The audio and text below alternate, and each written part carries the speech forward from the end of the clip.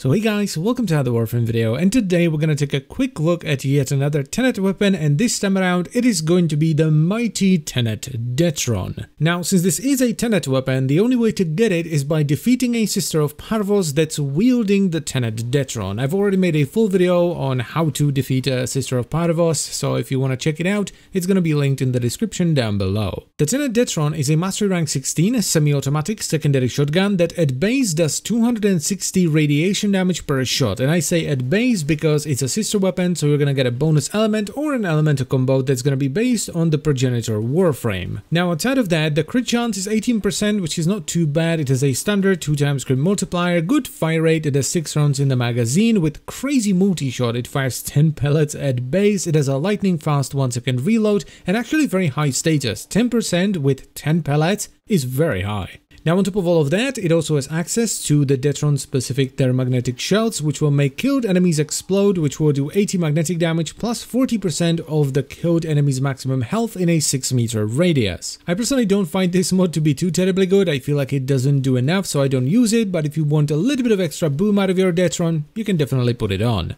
And finally, the Tenet Detron isn't just Detron Plus, it does have a unique mechanic. Now, how would one make the Detron better? Because it's already a really cool semi-auto shotgun that sounds awesome and it looks awesome. Well, it's actually quite simple. You give it a secondary fire from Pandero.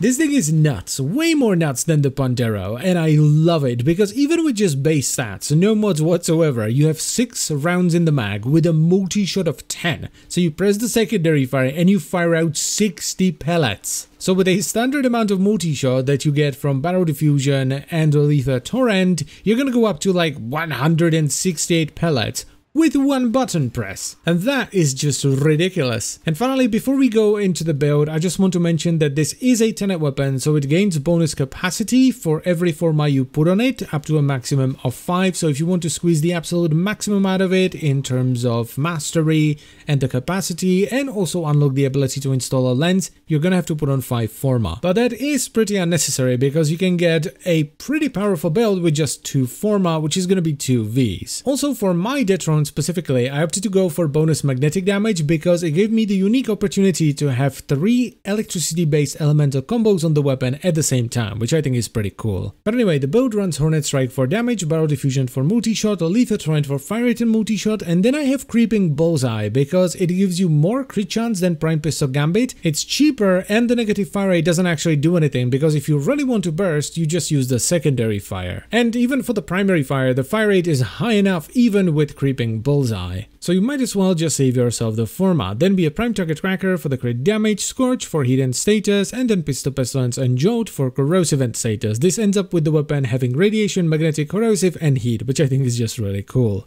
Now as far as the damage is concerned, it's really good, especially on the secondary fire, which will basically kill everything you fire it at, and it works really well versus all the factions, because you have radiation, which is great against alloy armor and robotics, you have magnetic, which is really good against shields and proto shields, you have corrosive, which is very good against ferrite and fossilized, and then you have heat, which is generally just good against flesh. So basically, no matter what you shoot, you're gonna be doing bonus damage with something.